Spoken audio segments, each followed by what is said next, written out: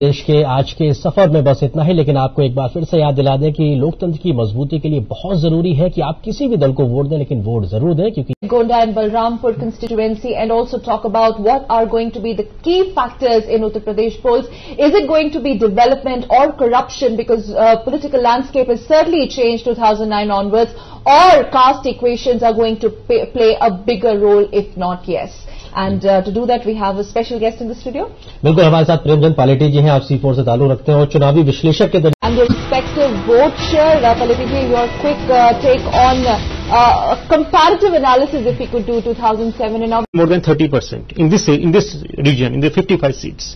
This helped Congress. Whereas Dalit vote was spread, so although Mayawati got more votes, hmm. but she that, that couldn't be translated into seats.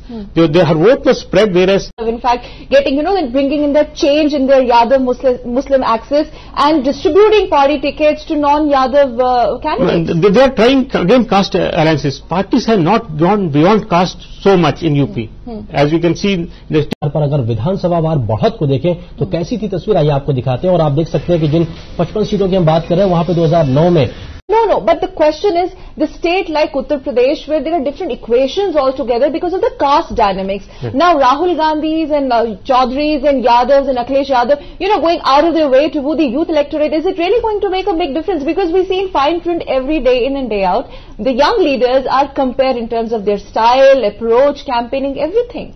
That's true, but Mayawati here is confident of her Dalit vote. 20% Dalit vote is intact for her. They won't vote to any other candidate. She is confident because she represents a self-respect for Dalits. So they, whatever, however the governance may be, they still will vote for her. Ji So she is confident of that, but we hope things change in UP. People vote for governance. जी बिल्कुल एक छोटा सवाल आपसे मैं जानना चाहूँगा उसका जवाब कि जो जो डिलिमिटेशन का मुद्दा है परिसीमन जो बात है उसमें बता रहे हैं कि जो प्रथम चरण है इसमें लगभग 50 फ़ीसदी से सीटें ज़्यादा ऐसी हैं इनका कि एक ढांचा ही बदल गया कितना बड़ा फैक्टर परिसीमन डिलिमिटेशन इस बार होने जा रहा है ये किसी हम ये नहीं कह सकते किसी विशेष पार्टी को उससे फ़ायदा हुआ है या नुकसान हुआ है सबको हुआ है खासकर वो प्रत्याशी जिनको, उनके पोलिंग बूथ जो है बदल गए हैं, जहाँ पे उनको उम्मीद थी कि